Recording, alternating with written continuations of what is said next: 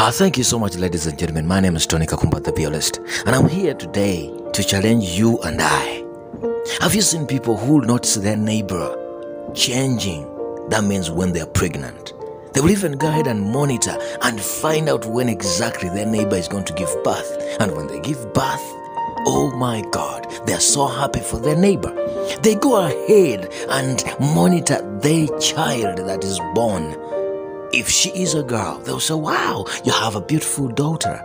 They will even go ahead and find out when this daughter is gonna be in school, I mean, kindergarten. But these very people, you and me, we never take time to ask ourselves, When are you birthing your child? When are you taking your child to a kindergarten?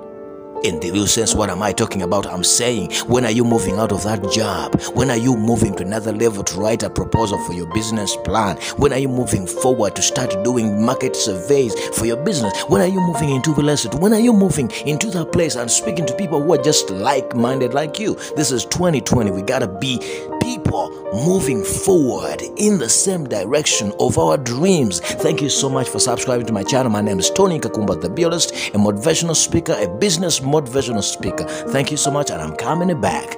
Thank you. Stay glad about that. Don't go away.